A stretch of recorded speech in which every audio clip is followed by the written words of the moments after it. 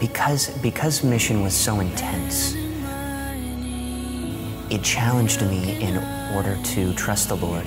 in more of a complete and a very real way than I ever really had before. And because of that, I saw um, and understood so much more like what trust actually is.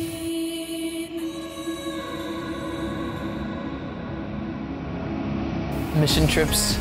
at Franciscan, especially in Gaming, Austria, are unlike anything else because it's an opportunity to truly get to know another person, another type of people, and you really just receive so much joy from them, and for some reason we give them so much joy, and it's in giving that we receive, and it's the best way to give at Franciscan. With the friars here, the sisters here, again, the perpetual adoration and the Mass and the sacraments, um, it's able to not just be like this lofty,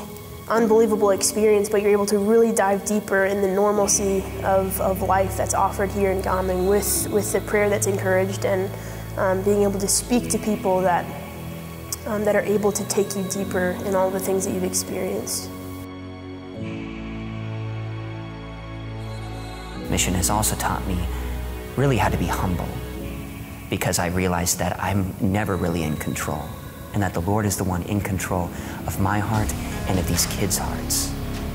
God touched these, these kids, these teens that we were with in ways that were phenomenal